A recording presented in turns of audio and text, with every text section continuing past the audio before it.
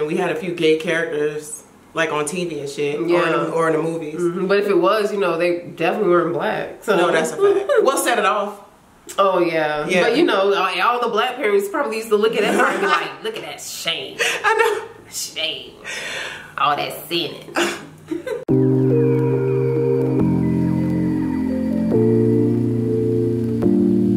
What's up, y'all? Welcome back to our channel. We are the Muses for those of you who are new to our channel, and we want to just take this time to thank all of our subscribers, everyone for your comments. Like, I know, I love how like everybody enjoys watching the videos. Yeah, every time we go out, y'all just giving us like all these kind of compliments about the content we're dropping, and we appreciate that because it motivates us and inspires us to keep it going. Yeah. And trust me, we're listening. Um, everyone pretty much said they wanted to hear about You know your previous my ex-marriage, So um, my, which happens to be my children's father. Yeah, And so, so- we'll get into that later. Stay tuned, but make sure you click the notification button, the subscribe button, the like, and comment like she said. yeah. So let's get into it. Yeah. So this is pretty much like our coming out story, as, as you saw in the title. Um, your story kind of ties into it, so we thought like, why not just tell what our coming out story was like? So that's what this is. Um, When's your coming out? Did you come out? So in a weird way, I kind of outed myself in a little bit. So like I've had like previous experiences, like when I was in middle school, and then you know being into high school, I kind of like I felt pressured for my mom to like you know like they always do, um, you know, talk date a guy have a boyfriend just so you know because she kept telling me oh it's a phase it's a phase. And for a while you know you start to believe that. And i was like okay yeah she's right. So i'll go to this school that's not near my neighborhood or near the girl who i was talking to in middle school. And you know i'll start to date boys. So you know maybe she'll get off my back and leave me alone. Yeah right. And then I dated boys like my freshman year, sophomore year, had a boyfriend and all, but it was my junior year that, you know, girl caught my eye and I kind of pursued that relationship and we were in a relationship from my junior year. Not my junior year. We didn't start dating until my senior year of high school, mm-hmm. but we were in a relationship for six years after our senior year. But my senior mm-hmm. year, so I'm not sure if everybody's familiar, but like, you know, when I was captain of the cheerleading squad, I was Miss First Coast. So Miss First Coast is pretty much like the pageant or like your school person, like a the it girl. So I was Miss First Coast. I won for my senior year. So I was like, I had all these titles and I was in a relationship with my girlfriend and you know we were talking to each other we were texting and it wasn't quite popular at the time to date a girl or to be out the gay around that time even though it wasn't Sure even though i graduated like in 2007 even though it wasn't like so long ago but it still wasn't a thing and i just remember one day we were in school I don't know what made me do it or what made me even think that word wouldn't get back to my mom, but school let out, she had a car and all the seniors, you know, got to the parking lot. So, you know, I just got tired of us always having to show affection in between classes. Like, you know, we would, you know, set up times to leave class, to meet up. It was never when, you know, in between the classes when the bell rung and everybody was out. We always had to sneak and do it. And I guess I just got tired of sneaking and doing it. And, you know, I just went out to the parking lot, saw her, and she was about to go. And I was like, you know, shoot, fuck it. I'm finna kiss you. And we just sat there and we like made out in the parking lot. When I tell you, everybody was like, cause I think people like heard rumors and maybe thought that, okay, yeah, Yeah, maybe they're yeah. together. But when they seen that, first of all, nobody ever seen that, let alone two black girls in the school, like just sitting there in the middle of the parking lot, straight, like just kissing. And, you know, I just did it. And I Feel free. While you was I felt it, did you feel nervous? I felt fearless, and I don't think it had really anything to do with my relationship. I think it had a lot to do with me and what I needed to do for me. So it wasn't even about who it was, but of course she was my girlfriend. I wanted to kiss her, but yeah, I just did it, and it. I do have a tendency to like do things without thinking of the consequences afterwards because Well, that's a that's an Aquarius. you know it never clicked in my mind. Like, like wait, the consequences. people are gonna tell my mom. So yeah, because at the time my mom was working at the high school, so yeah, eventually word did get back to Nah, her that's that crazy. yeah, You your daughter, yeah, I know because they was just like, oh, you around here thinking your daughter, oh, Miss First Coast, and she's just so untouchable. But no, yeah, your daughter gay. Yeah, she gay. Yeah, you got a gay daughter. Like, I mean, like it was a bad thing. like it was, a, yeah, it was a bad thing, and I think Yeah. because of how people push it on mom, it made her think that it was that way. But that's pretty much how I outed myself. Did So you it's like, trouble? I mean, yeah, of course. You know, at the um, my mom has evolved since then, y'all. Let's just say this is like past tense. You know, Yes, we, our I, parents. we, I- we love. Yeah. I love your mother. Your mother did. She did an amazing job raising you. Yeah. Thanks, mom. Shout out to you. But yeah, it, yeah, she she didn't agree with it, you know. But like I said, that was then. But Yeah. you know, I was on punishment, of course, but it didn't stop nothing. Facts. I still sneaked and did what I wanted to do. but that's pretty much my story. I pretty much outed myself. So, but the sucky part about it is in school, they took all of my privileges away from me. Like as the lady of the school, you know, you usually do the afternoon announcements and you speak at all these engagements for the school and they took all of that away from me. I really didn't do anything. because you were gay. Yeah. Outwardly gay. Yeah, it was just like, oh, we can't have that. Well, you speaking now, baby. I'm speaking, well, I'm speaking everywhere. I'm speaking worldwide. I'm everywhere, all over the world. So how about that? Okay, I'm very, first of all, let me say that I'm very proud of you for being fearless. Another Aquarius trait. and, you know, being who you were at such an early age, I really do wish that I had that level of courage or bravery at that age.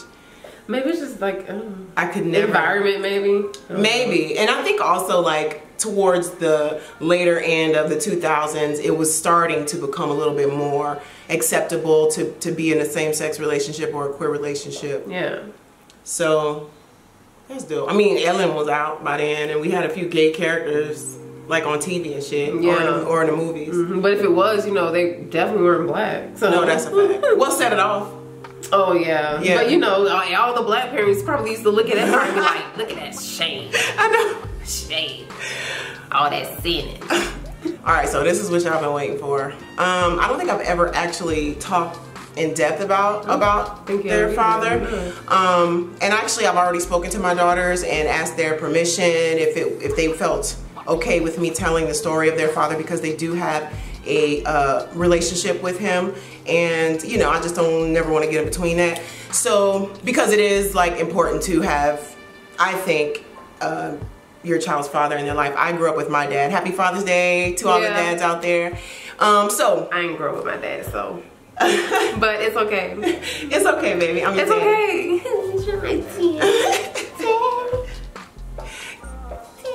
So funny. um, okay, so let's get this over with. Okay, so basically, a lot of you know, um, I'm a preacher's kid. I grew up in the South. We both we both grew up in Florida. Yeah. And um, I grew up when, hell, the only thing I ever seen on television that was a little bit resemblance of queer of a queer relationship was The Color Purple when Shug and Oh, yeah. was kissing, and I was just like, oh, still my favorite movie to this day. But um, I wish they would have showed the sex scene in that, but I know the book is goes really deep into that. their I need to read the relationship. book. I need to read the book. hmm So I mean, they were on a whole fucking thing. Okay, but so basically, this is how it all started. I grew up in a very strict home. Um, very, very guarded. Um, I couldn't wear pants, makeup, jewelry, go to the movies, go to prom Damn. dance. I only was I was only allowed to focus on school, church, and home all the way up through my 18 years. So I say that to say I was very sheltered, um, and that stems from a lot of. Um, I guess my mother was just thinking she was doing the best she could Yeah, probably protect to protect because they grew up in yeah. like a hard era as black people and so especially like my mother grew up in jim crow south and it was just like very traumatic Yeah. so she wanted to guard us and i you know this is me in hindsight looking back now but when i was going through it, was fucking Right. hell And you were the first. I was the firstborn, so you know yeah. how that is. I oh, mm. so basically, I wasn't allowed to date boys. It was never a thing where oh you get to have a boyfriend or oh you get to go dancing was a sin. Every everything was a fucking sin. Mm. So, girl, ever since I remember, I was attracted to girls. I got in trouble in pre-K for kissing a girl. I got in, I got a, my mother caught me and a girl three times when before the age of 12. And the last time that she caught me, I got such a bad whooping um, and a lot of threats. And I just think my, my mother at the time didn't really know how to handle it having a queer child. I mean, I was the preacher's kid. We had a an appearance to uphold and you know, it was um it was really something that was beat out of me and kind of really traumatic to still kind of talk about. I went I went through a lot of years of therapy and um, she basically I was listen, I was going to learn how to fuck niggas after that. I was trying to get into heaven. I remember like literally at 13, 14, all my little friends was around me like, oh, he's so cute, or he's so cute, or he's so cute. And it was like, well, I guess I gotta make myself think boys are cute. Like I'm gonna mm-hmm. fucking go to heaven. I'm not going to hell. Like right. it was I had to write Bible scriptures, Bible verses after the beatings.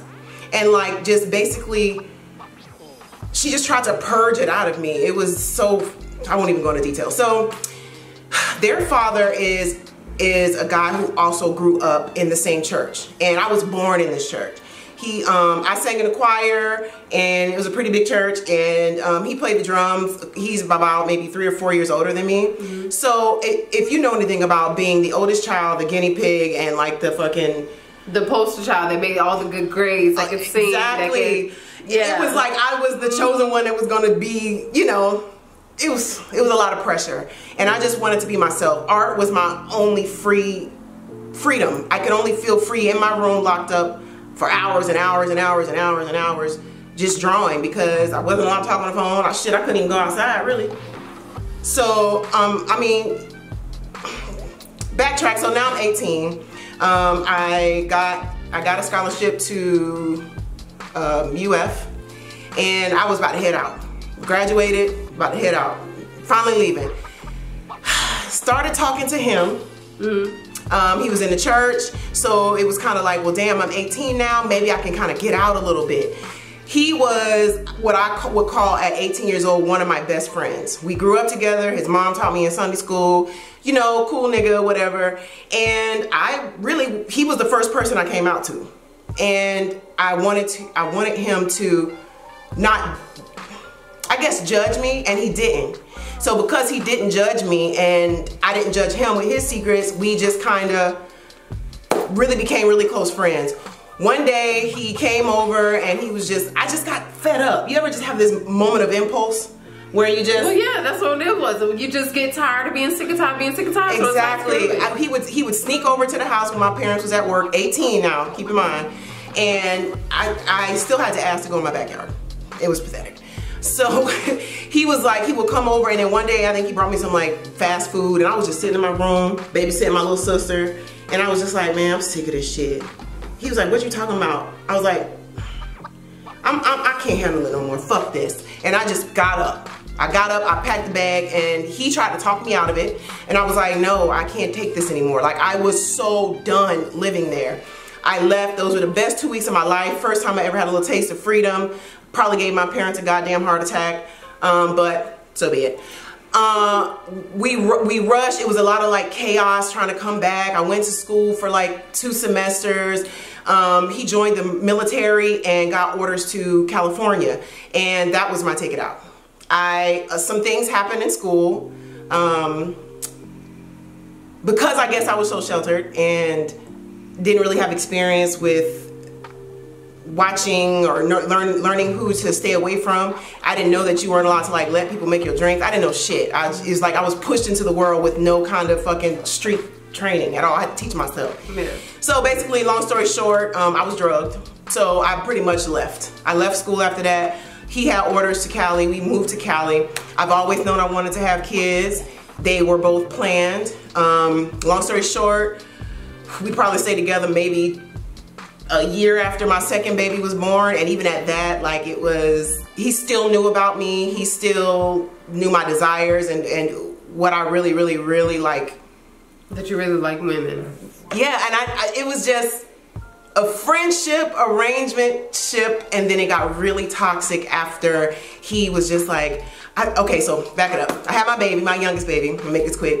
Um, I was working at a daycare center and my daughter's infant teacher at the time she was probably six months old mm. my daughter's infant teacher i You thought she was a fine piece of I ass. did, I did, and I ain't know, I ain't know really know how to approach girls. Yeah. I was still very young. She comes to the house one day. We become closer friends. We're flirting, taking trips and shit. And she's not gay. She's in a relationship with a dude too, and got kids. And so she's at the house. She gets, I get up to do something on the TV, and she goes home. He then says after she leaves, she wants you. And I was like, why, why would you say that? And he goes, um, I see how she was staring at you. She wants you. I dare you to pick up the phone and call her right now. I promise you. I'll pay for the hotel room. I'll pay for the bottles. I'll pay for everything. I promise you. And I was like, no, I was so fucking scared. He was like, uh, he was like, do it, do it, do it. Standing at the edge of the bed. So I picked up the phone. I'm calling the girl. I'm like, hey man, I got something to tell you, man, but I don't want it to affect our friendship. And he don't, he, he just excited all the side. Mm-hmm. And so she's like, Adrian, I know what you want, and let's get a room tonight. He's like, told you, I told you, I told you. Period. He paid for the room, he paid for the bottles. We get to the room, I I blossom like a lotus flower. I was in that pussy all night long until the sun came up. And I guess he thought it was gonna be like A a threesome type thing. maybe Yeah. hopefully later or Yeah. or at least like a let let's let it come out of your system. Yeah. No baby. Every time he went to sleep. Every night he went to sleep. And my babies would sleep. I got in that car and we was fucking at least for a year. Until he finally caught me. I guess he got mad. He knew it was a thing. And then I remember like just crying in the shower. It's like I can't do this no more. It's gotta it's gotta be I gotta be who I am. Yeah. And, you know, he pretty much hated that, of course. I guess it was a bruise to his ego. And Yeah, because it's like, like we said, what guy wants to be, Be the left- last guy? right. And then it's like, oh, yeah, I mean, we were kids, you know what I'm saying? We were young kids, Yeah. um, trying to get in heaven and trying to do what was pushed and programmed into our minds. You know, you, you go to college, you get married, you have kids, you, you, and then you walk into the kingdom of God. And that's how we were bred. And it was just like a whole bunch of years of therapy and just deprogramming, but it got really toxic. He outed me to the, anyone who would listen, uh, including my parents, um, just anyone who would listen. He, she's your daughter's uh, DI, I won't say it, Yeah. or DYKE. Uh, she just really tarnished my name. I had a horrible relationship with my parents for like the next five, six years. And God knows to this day, I would have never thought that everyone in that situation, my parents, him, um, me, you, everyone just kind of evolved to this space where y'all just gonna have to let me be me or you can't be in my life. So I thank God for the growth. I thank myself for the strength and to be who I really am. The girl I was sleeping with, she's still with me. I know so many women who are very afraid to just be themselves. yeah, that sucks. But it's like, you know, I mean, of course, it sucks when your parents don't support you, but at the same time, you still got to stay true to yourself. You still have to live your life. And I just think, you know, for some of us, we just can't take it. We just reach a point where we just like, no, enough is enough. Enough is I'm enough. gay. I like girls, and And I always liked girls. Yeah, and I'm not gonna keep putting myself in these forceful positions to make you happy. It like ain't. people, you have to It stop living your life for other people because they're gonna do what they're gonna do. and you then they're to oh, live your yeah, life for exactly. And they're gonna die. Yeah. And, and and if I heard a quote one day it was just like, you know, if you realize how quickly people forget you when you're dead, you'll start to live your life a little bit more free freely. And you have to like find the bravery in you. Now, we're not saying that you have to come out. Yeah, definitely. Please stay safe. Yes, Please stay do it. safe. If, if you're struggling with coming out, you know, take your time. Do it in the best way that fits your situation. Basically, Like, basically, if you're young and you and you are dependent of your family and you know that they're going to be against you, and if you can just keep keep it to yourself, if you can't be free, baby, you know what I'm Yeah. saying? We aunties got you. Yeah, We're here to support you. We love you. Um, happy Pride. but if you can't do that, that's okay. It doesn't make you any less queer. Yeah. You just have to suck them dry until you can yeah, depend on yourself. and move when you're ready. Exactly. You know, I think every day your life should be lived doing things that make you the happiest each day Agreed. and live each day like they say as if it's your last. Like, you know, of course I know we like to plan for the future and all these things, but start taking time to for yourself, self-care every day to do things that make you happy. Because if you're a happy person and if you love yourself, then the person that you're bringing into your life is only going to blossom that into even more love. Like you can't, you know, so I definitely want to push like love and positivity for all of that. Like exactly, and just important. Just love yourself, and like she said, even through the dark times. I know. That's what I was just about to say. It might be dark. It might seem dark. Um, but it does get better. It I does. promise you, it does get better. Hold on. Be strong. Change is coming. Hold on. Until then. Don't worry about a thing. Come on. When the troubles of life. I'm trying to figure out what song no. you're singing. I can't catch it. Hold on. No song I'm singing. Mm. Change is coming, change is coming. What song she singing, y'all? You know, don't worry about a thing. Who sang that? Oh, no, no, hell if I know. I don't know, because you know. Anyways, I know I'm probably wrong key, you know. Okay. but thanks so much, y'all, for watching this video. we going to wrap it up. Yeah, we are. Also, I don't know if some of y'all do follow some social media, but if you don't, our Instagrams will be here and also in the description box below. But we are having a Juneteenth sale, y'all. Yes, happy Juneteenth. Yes, happy Juneteenth to everyone. Well, I don't know if I'm gonna say everyone, but happy Juneteenth. We're having a 40% off sale on the entire site. It's so much art that we've restocked. Take a look. Uh, the the web link is also down below. Yes. Uh, if you don't have the link. But take advantage y'all. We'll keep it up for a few more days. Yeah but yeah definitely. We love you. We appreciate all your support. Comment down below. Tell us yes. you know if you have a coming out story or what was Ooh, your experience yeah, like. If you want to tell us you know I'm, I'm, definitely interested in learning. I like to respond to comments. You yes, know we, we like to engage with you all. So you know i just want to hear from you. I, because of pride you know we thought this would be a great video to talk about her story time and talk about what our coming out story was like. So. Yes, and I just want to say again, thanks so much for watching. We love y'all. Thank you, you for the support. Absolutely. If there's anything else that you would like for us to have a story time about, drop it in the comments as well. And until the next time, we're going to see you later.